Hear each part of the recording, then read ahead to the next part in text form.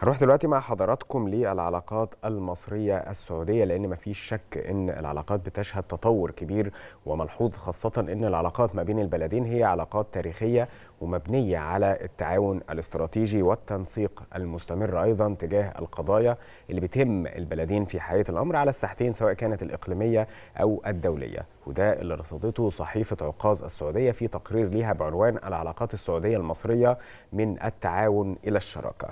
صحيح. أيضا ذكرت صحيفة عكاظ في تقريرها انه العلاقات بين مصر والسعودية تتميز بالزيارات المتبادلة بين قادة البلدين بشكل دوري. ده بجانب الزيارات العسكرية والأمنية والاقتصادية الهادفة لتبادل الآراء اللي تهم الرياض والقاهرة. وأيضا تساهم في ارتقاء العلاقات الثنائية بين البلدين.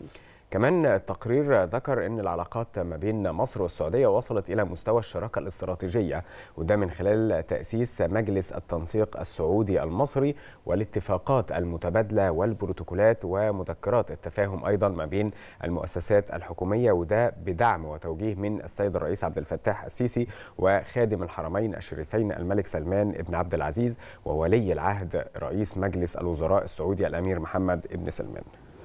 هي انه هذا التقرير اللي نشرته صحيفة عكاظ وضح انه مصر والمملكة ليهم ثقل وقوة وتأثير على الأصعدة العربية والإسلامية والدولية وده بيعزز بالمستوى وحرص البلدين على التنسيق والتشاور السياسي المستمر بينهم لبحث مجمل القضايا الإقليمية والدولية في مواجهة التحديات المشتركة وخدمة قضايا الأمتين العربية والإسلامية والأمن والسلم الدوليين.